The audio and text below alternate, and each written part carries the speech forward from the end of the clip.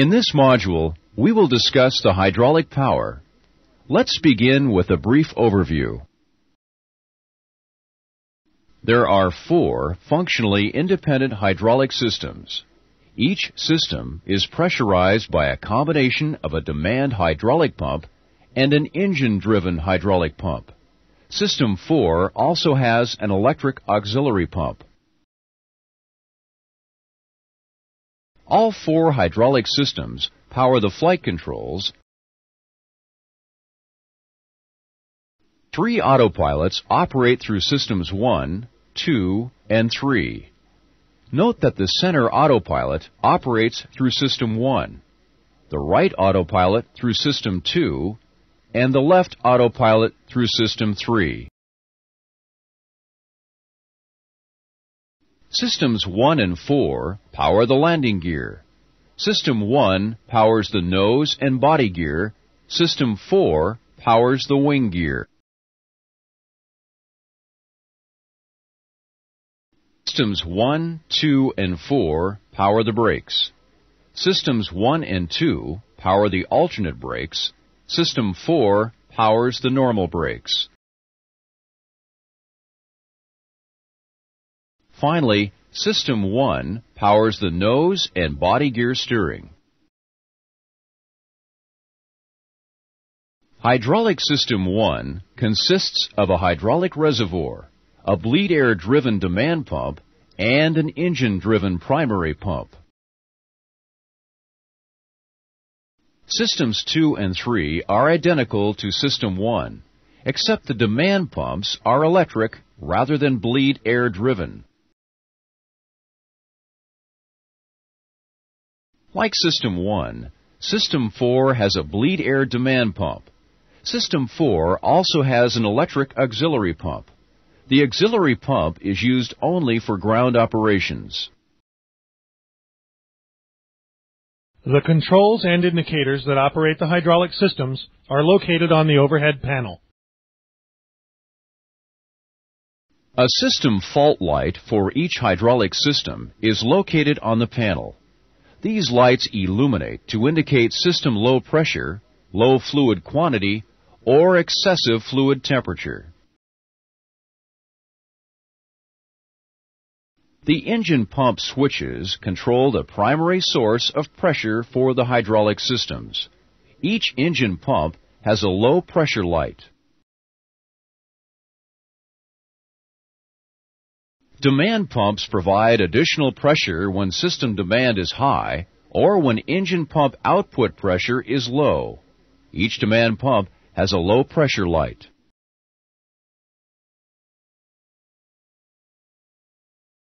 Question.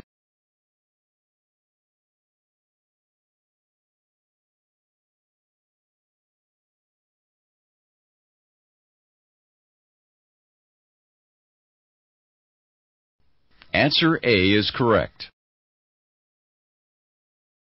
The center autopilot uses hydraulic system 1. System 2 is used by the right autopilot and system 3 is used by the left autopilot. We will now discuss the normal sources of hydraulic power. Each system has its own independent reservoir. The quantity in each reservoir is indicated on the EICAS status display. A value of 1.00 is the normal service level. The value displayed is a percentage of full. the reservoir quantity is at or below the refill level, the letters RF appear next to the quantity. This condition requires maintenance action prior to flight. Each reservoir is pressurized with bleed air to ensure a positive flow of fluid to the hydraulic pumps. A check valve maintains reservoir pressure in the event that bleed air is lost.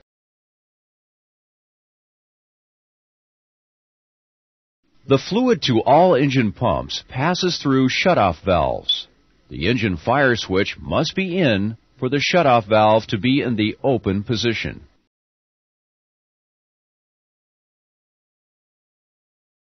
Pulling an engine fire switch closes the shutoff valve to the associated engine pump. This prevents the flow of hydraulic fluid to the engine pumps. Pulling the fire switch also depressurizes the engine pump. The pump continues to operate. However, it provides no usable pressure.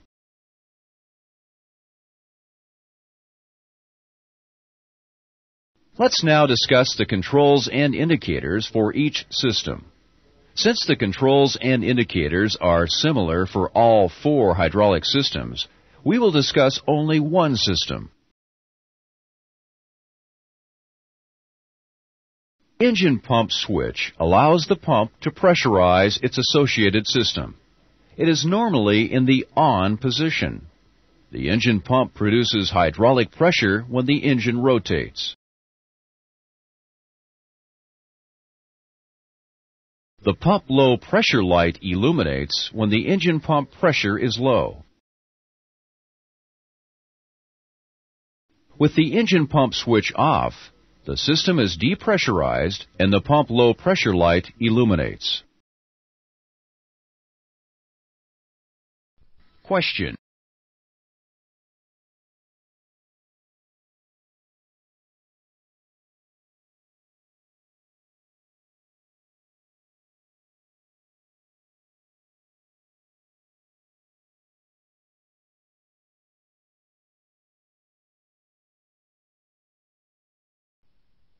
Answer B is correct.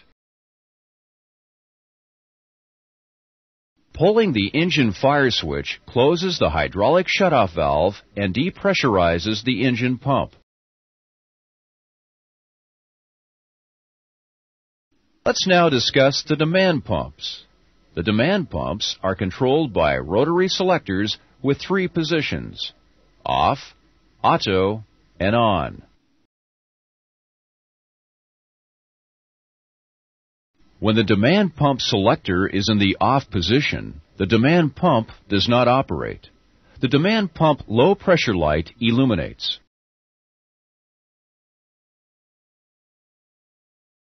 The normal position for the demand pump selector is auto.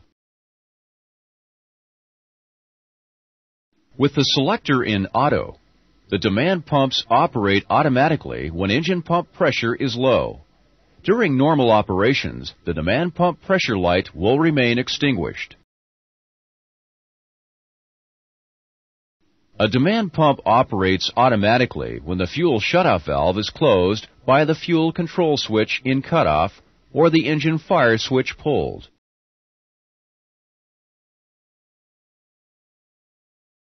Demand pumps 1 and 4 will operate automatically when the trailing edge flaps are in transit.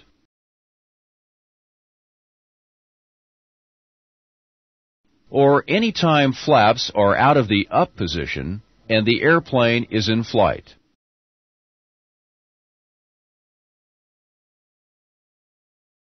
With the selector on, the demand pump operates continuously. The demand pump low pressure light illuminates when the demand pump is commanded to operate and output pressure is low. The demand pump selector for System 4 has an additional position labeled AUX.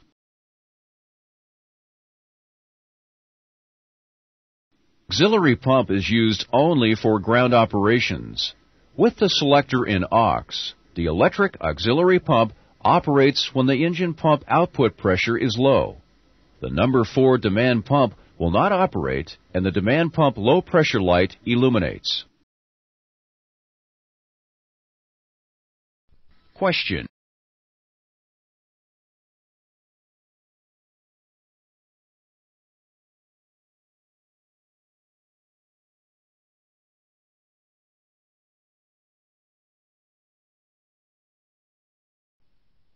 Answer B is correct. Question.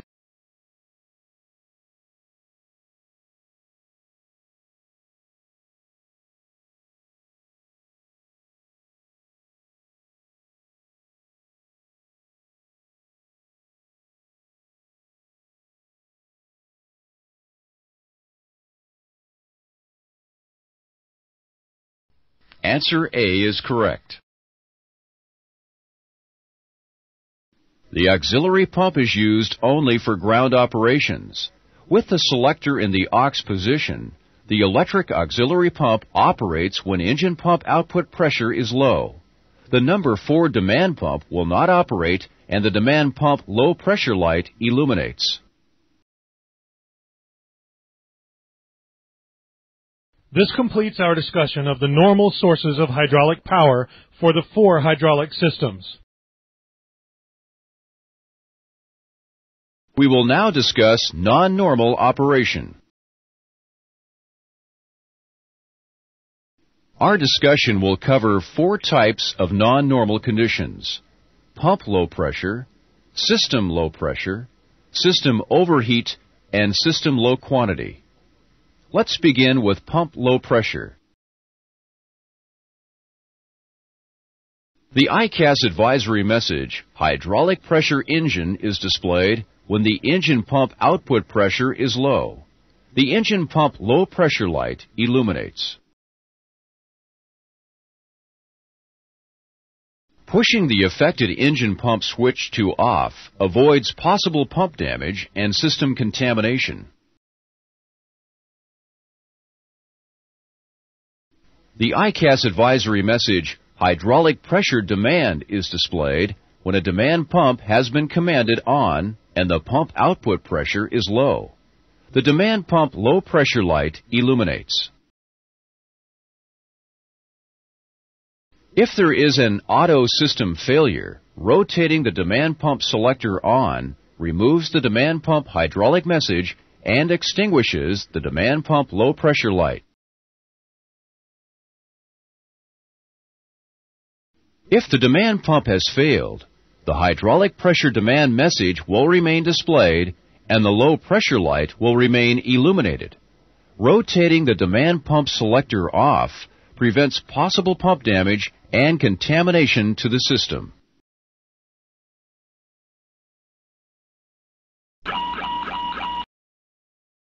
The EICAS caution message hydraulic pressure system is displayed when there is a loss of hydraulic system pressure.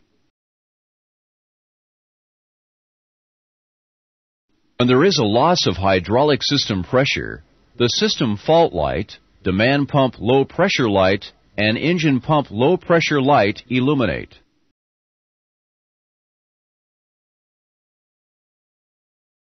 Rotating the demand pump selector off and pushing the engine pump switch off prevents possible damage to the pumps and contamination to the system.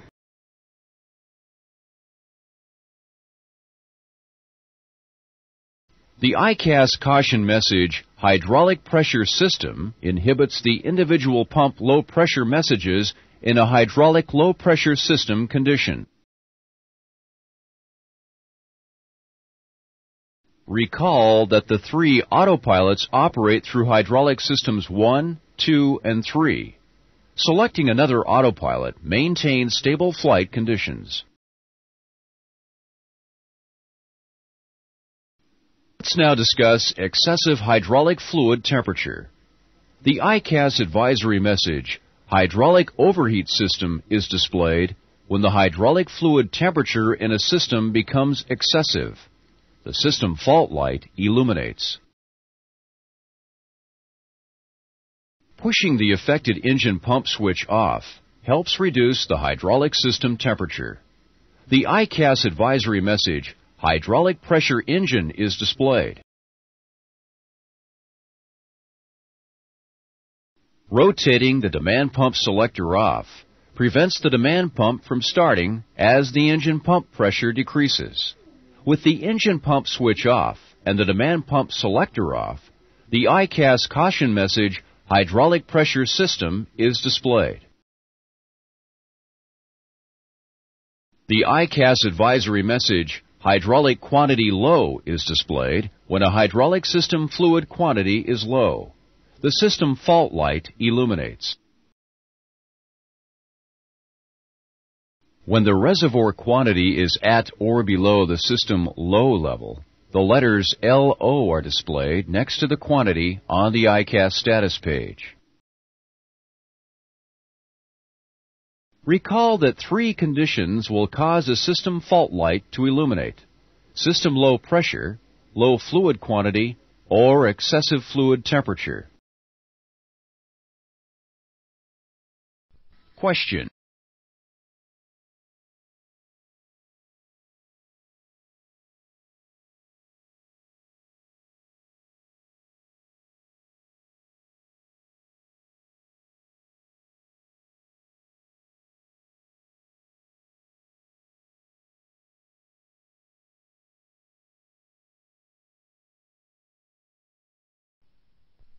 Answer B is correct.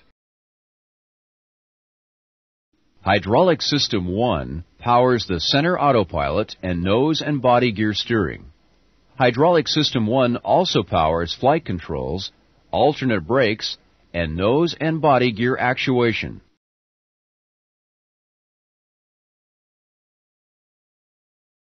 Question.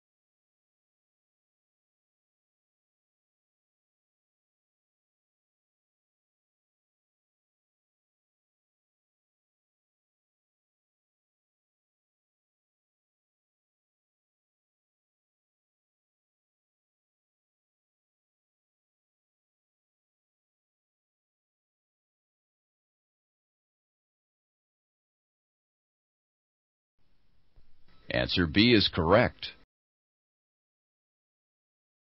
System low pressure, low fluid quantity, and excessive fluid temperature will cause the system fault lights on the overhead panel to illuminate.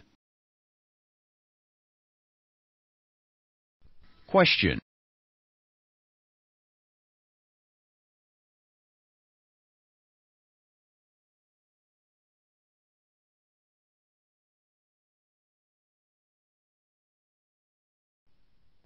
Answer B is correct.